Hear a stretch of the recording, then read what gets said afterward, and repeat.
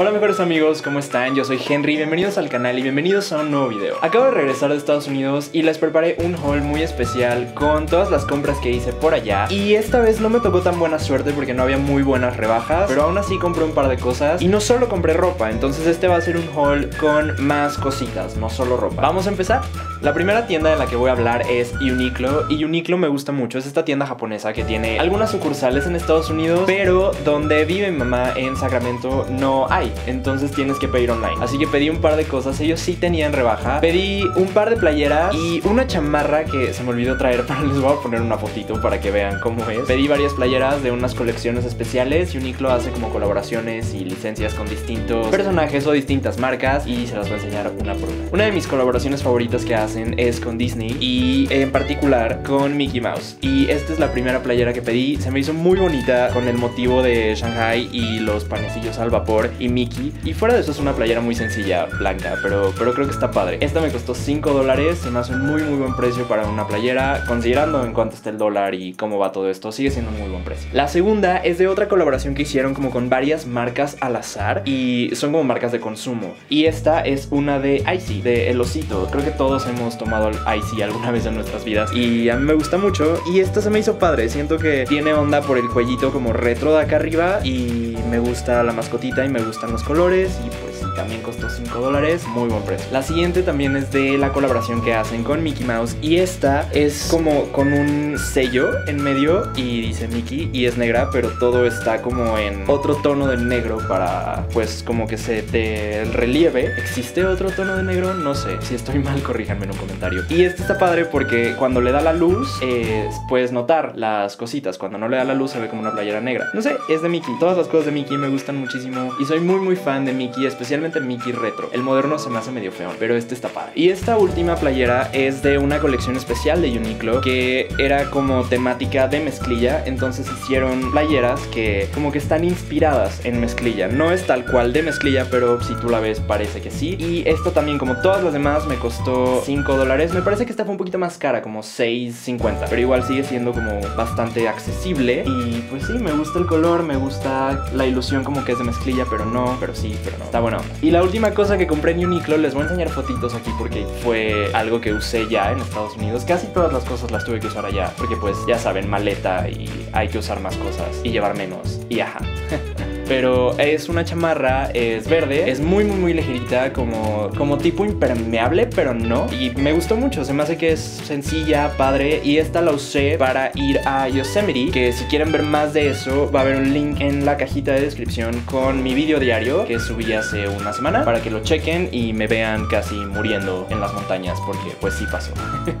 Pero esa chamarra me costó 14 dólares y se me hizo también un súper buen precio porque pues es una chamarra y es en un verde que es muy muy muy usable con café, con blanco, con negro y la voy a estar usando un chorro también. Y bueno, eh, allá por donde vive mi mamá también hay un outlet de estos premium outlets que son bastante buenos y fui con una idea muy muy específica eh, de comprar cosas como para el gimnasio. Entonces compré unos pants y compré una playera justo del gimnasio en Adidas. Estaban en un precio especial porque que tenían descuento sobre descuento y me salieron muy baratas. Esta es la playera que compré y es de estas como con tecnología para que si sudas se absorba rápido y este es como fresquecillo.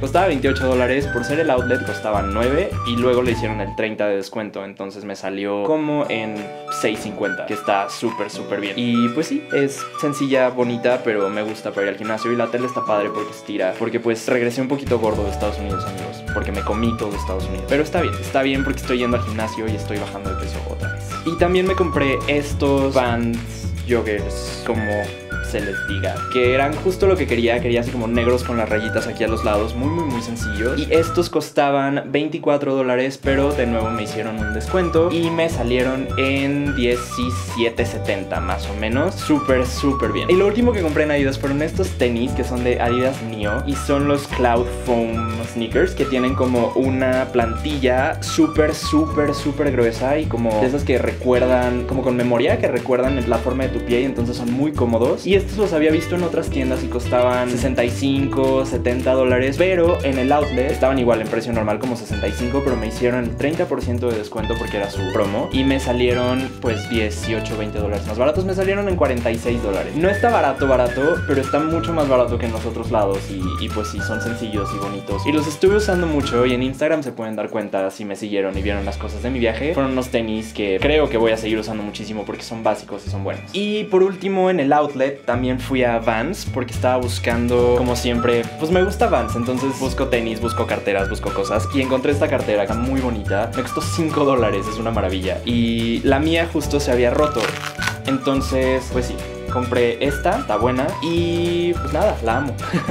La amo porque fue barata y porque no es fácil encontrar este tipo de carteras como que se abren así, o sea, y que tienen el velcro aquí para cerrarse. Casi todas que son así o son muy grandes y no caben en la bolsa del pantalón o no tienen cosita para cerrarse y son muy incómodas. Pero esta estuvo buena y el precio estuvo excelente. Y ahí también me pasó algo que donde dije creo que por fin estoy creciendo porque vi unos tenis como de botita eh, medio de piel con flequitos atrás que dije están súper súper padres y costaban 20 dólares pero no los necesitaba necesitaba, entonces los dejé. O sea, eso nunca me pasa, ¿saben? Siempre es como, no, claro que los necesito, claro que los voy a usar y me caben en la maleta y todo, pero no, por primera vez fui como más responsable y dije, no los necesito, los amo, pero no los necesito. Y ese es un consejo creo que todos deberíamos aplicar. Si realmente no necesitamos algo, no hay que comprarlo. También fui a otra tienda que me gusta mucho que se llama Nordstrom, que es una departamental, y ahí hay una justo que se llama Nordstrom Rack, que es como de cosas con descuento y compré un par de cositas que no necesariamente son ropa, pero les voy a enseñar porque pues también parte de mi crecimiento es comprar cosas que no son ropa. Y pues sí, les voy a enseñar una por una. Lo primero que compré es este vaso de piña que se me hizo súper, súper bonito. Se abre así y tiene un popote de metal. No sé qué tan higiénico es usar estas cosas, pero por lo menos no es un popote malo, ¿saben? O sea, es, ajá, de estos que puedes usar muchas veces. Y sí, se me hizo muy bonito. También no lo he usado, pero es que es muy bonito como para llenarlo de cosas. Pero no sé, no sé qué voy a hacer con esto. Pero me costó 8 dólares y es muy bonito. Lo dije y lo repito. Entonces sí, 8 dólares se me hizo como un muy buen precio y me gusta.